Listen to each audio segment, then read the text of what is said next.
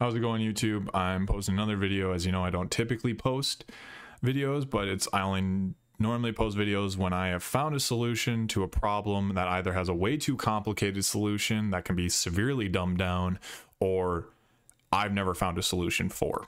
Um, the problem being making this widget pop up uh, in the top left corner that shows the album cover, the song title, the artist. So when you're streaming, people know what song's playing. They don't have to keep asking you and asking you and asking you.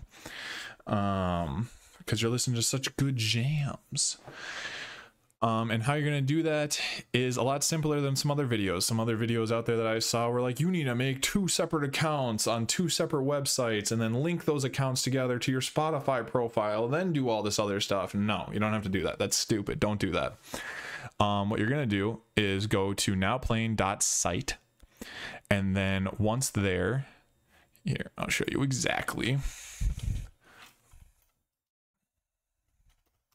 Now nowplaying.site where it says dashboard it'll say sign in slash register when you hit sign in slash register it will allow you to sign in with your twitch profile so sign in with your twitch profile um, if that's what you're using or if you're using youtube i believe it lets you also do this do that. Um, but I'm mainly talking about Twitch here.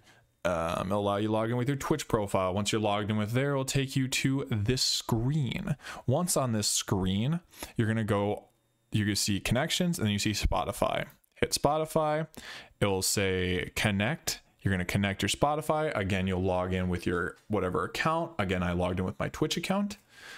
Once logged in with my Twitch account, uh, under keys, it was at European. I switched it to the US, hence I live because I live in the US.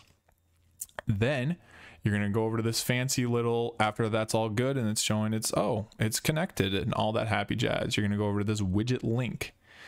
And then once you're on this widget link, you're going to hit click here to copy the URL.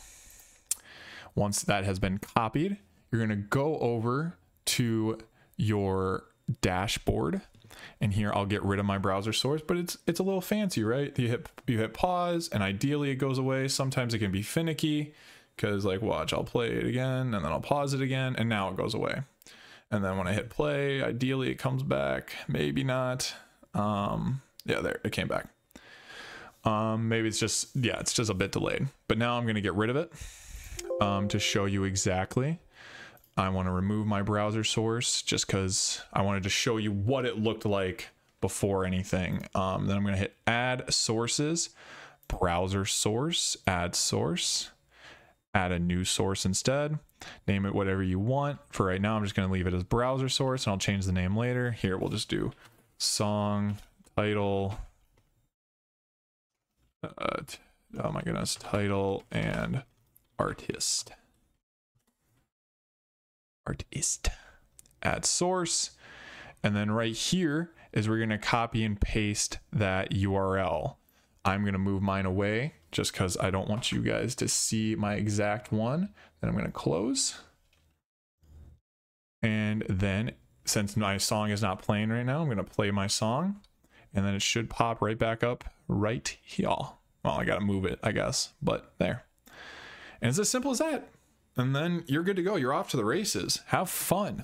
Um, letting people know what exactly what song, what the artist is, what the what the what the the, uh, the cover art looks like, all that fun jazz. Um, don't know when the next time I'll upload. Next time I run into a problem and I find a better solution than what I find on YouTube. But I hope you guys enjoyed this video. I hope it helped. If it did, leave a like. Uh, if you have any questions, leave a comment. Um, yeah, and I'll answer those comments as quick as I can if I have the answers to them. Typically, I do. Uh, yeah. Uh, thank you for sticking by, and I'll see you whenever I make another video.